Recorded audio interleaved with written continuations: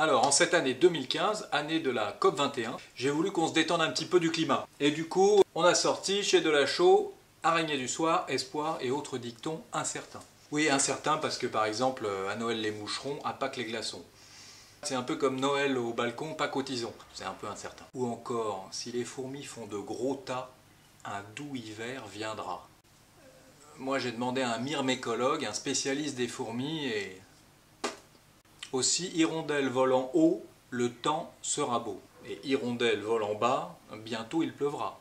Alors c'est un peu vrai que quand les conditions climatiques se dégradent, les insectes que les hirondelles mangent ont tendance à descendre, alors elles suivent leur nourriture. Mais parfois, il y a des vents ascensionnels avant l'orage. Du coup, les insectes remontent, les hirondelles aussi.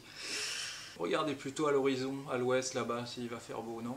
C'est plus sûr. D'autres sont carrément euh, des superstitions. Par exemple, euh, tuer une araignée, c'est faire pleuvoir dans la journée.